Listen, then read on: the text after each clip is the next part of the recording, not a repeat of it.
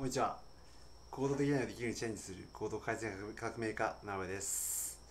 え今日はあの人の評価を気にすべきかということについて、ちょっとまあ行動とは関係ないんですけど、えー、ちょっと話したいと思います。えまずあの僕の結論かというと、あのえー、人の評価を気にすべきか、えー、必要ありません。えまず、え例えばあイエス・キリストいましたね。え孔子いました。え本当に歴史上の人物いっぱいいましたけど、でも、かの方、えー、え存在してましたが、え今の、まあ、歴史に残ってますけど、えー、かあの彼らの思想が全ての人に受け入れられているかといえばもう受け入れられてないですよね。であれぐらいの素晴らしい人でも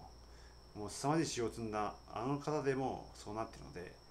えー、だから本当に人の評価なんかあのうんなんていうの、まあ、あれぐらいの人でももうアンチなのがたくさんいるのでそこを気にした時点で意味はないんですよねはっきり言って。だからあのまあ、僕が思うのは自己肯定力を徹底的に高めるべきだと思うんですよ。本当に。それしかないと思ってて。あのだからあの自己肯定力高かったら別に人に認められなくても、まあ、自分を認められるのでだからそこにフォーカスすべきだなと思っててあのまあうんなんていうの、まあ、僕は本当にもう人の評価っていうのは本当に全く、うん、気にならないって言ったら嘘なんですけど、まあ、ほぼ気にならない。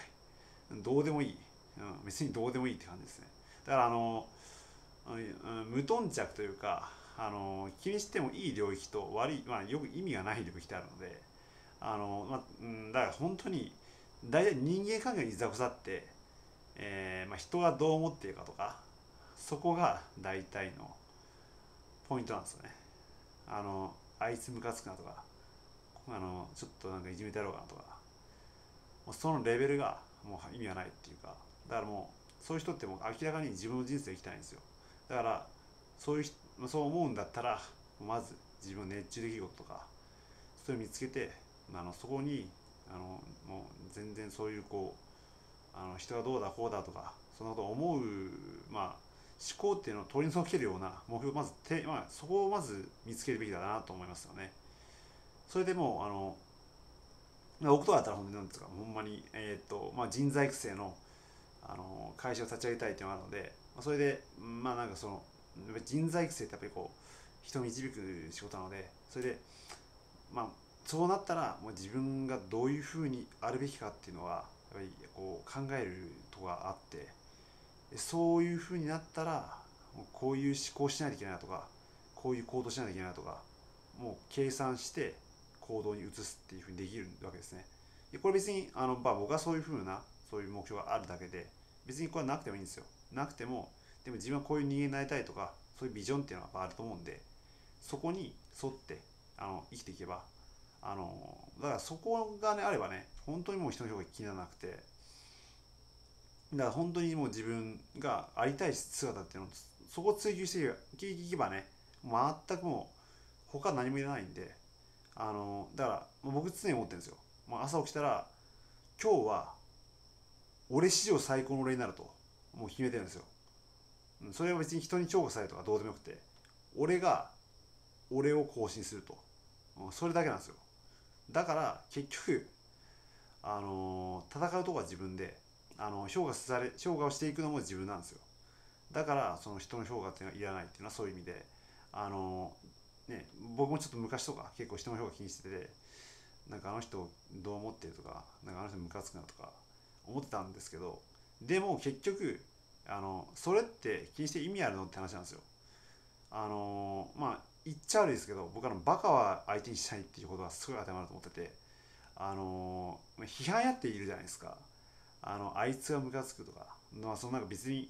あのそんな大したことしてないのにあのあいつムカつくねって言ってそれで楽しんでるそういうやからの言葉をいちいち気にしたらあの無駄もいいところなのであのそこを気にするのはもう全く無意味なのでだからもう本当に自分がなりたい姿を徹底的に追求するっていうのはもうそれ最強なんですよね。それができたらもういらないです。もう人の評価なんか。でこれ面白いことにそれがあのこれってあの人の評価気にしないっていうことは言えばマイルールで生きるってことじゃないですか。でマイルールで生きてる人間ってかっこいいんですよね。だからかっこいいから評価されてしまうんですよ。そうなってしまうんでだからそれが原則でだから気にしなくていいと。うん、別にそれもあるんですよね。だから言えばメリットしかないと。人の評価を気にしないっていうのは。うん。そしたらまあそう外れたことはねあちょっと直さないといけないと思いますけど基本的にはあのー、まあ大体なんていうんですかねこうまあ気にしてそんないいことないですよ、うん、ないからあの、まあ、僕は僕の考えでは人の評価っていうのは、まあ、度外視していいなって思っててあのー、自分の人生を生きたらいいなって思ってるのであの、まあ例で言えば堀江貴文はそうですよね。堀江貴文なんかあの人全く気にしないと思いますよ。だからあのね自由に生きてますけどでも結局インフルエンサーであのいろんな人に影響を与えてますしあのまあ別にそのインフルエンサーは素晴らしいってわけじゃないんですけどまあでもやっぱりそこ一回の人生でやっぱりこう楽しくねやっぱりこう自分を磨いてやっぱりその中であのやっぱりこう人の評価を気にするっていうのはもうほぼ意味がないと。まあもちろん気にしないといけないっていうのは例えばあのなんだろうこうまあビジネスとかで例えばこうあなんかこうあんまり評価してくれないとかあんまりこう売り上げ良くないとかそういうんだったらまあ対策でないないといけないと思うんですけどあの人に嫌われるとかそこは意味がないですね。そこは意味がないからそこは気にしなくていいと思うんであのぜひあの自分の評価を上げていく。自己肯定力を上げていくと。そこだけにフォーカスしてほしいなと思います。で僕はどういうふうに上げていくかっていう方法をと 取ってるかというとあの僕はあの結構アファメーションとかあのこう自分を高めてくれる動画とか結構見てて YouTube とかで。まあ僕結構あのなんだろう。あのまあカモさんカモチューブとかですね。カモチューブとかあの僕ちょっとすごい人生の転機というかあの中学校時代見た畠山対坂本あの WBA 使いられてきるタイトタイトルマッチ。これ伝説の一世なんですけどこれ結構見てるんですよ。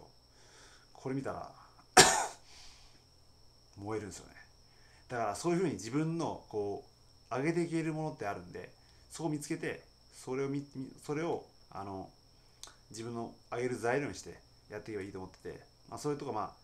まあ僕はあともう一個フォーカスしてるのは自分を徹底的にあの困難に立ち向かうと。それ大事だと思っててそれを繰り返したらあの本当に強くなるんで。で、まあ、マインドも変わってくるし。まあそういった、まあ、努力っていうのは絶対必要なので、まあ、そういったでも努力も面白いじゃないですか。自己肯定感上げられるって思ったら。そう捉えればいいんですよ。そういうふうになったらもう全部面白いんでだからそういうふうにあの自分にフォーカスしてとにかく自己肯定力を上げていくと。そこに集中したらいいと思います。だから自己人の評価はいらないと。結論はそれです。これまあ僕の理論なんで別に正しいとか正しくないとかないのでまあ自分の自分がそう思ったらそうしたらいいですし違うなと思ったら僕の意見はもう否定していいんであのまあそれだけなのでまあということでまあ今回は僕の、まあ、人の評価を気にすべきなのかっていうテーマでお話しさせていただきました。でまああのこれがね面白いと思ったらぜひねこれいいねボタンを押してほしいですしあのチャンネル登録をしていただきたいんであのまたあの発信していきますんで